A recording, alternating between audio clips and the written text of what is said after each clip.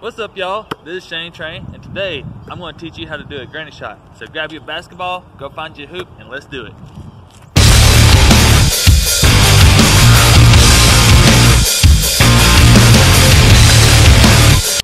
So today I'm going to be teaching y'all how to do the granny shot from the free throw line.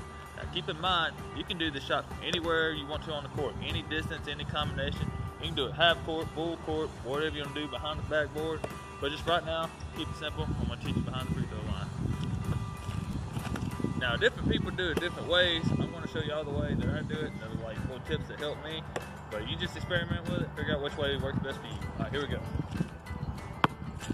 So basically what you want to do is, a granny shot is where you take both hands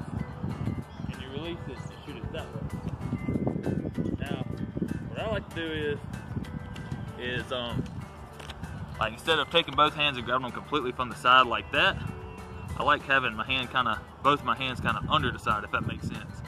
Uh, that way you have a little bit of leverage. Um, and to me, it has a little more control. So, anyway, what you want to do is you want to find that right release point because if you release too late, it's going to go high. If you release too low,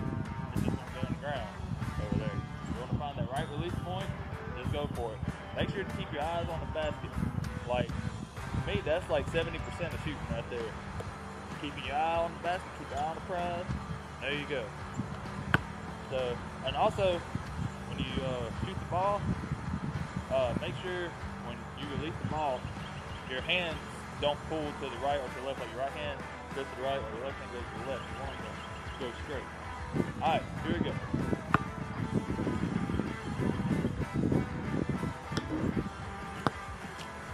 Bank it or make it nothing but net, however you want to do it.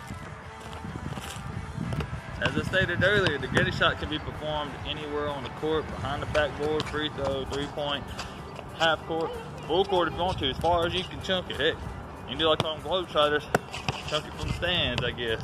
But anyway, I hope y'all enjoyed this video. Hope this helps y'all out. Now go beat your friends at horse. Y'all have a great day and God bless.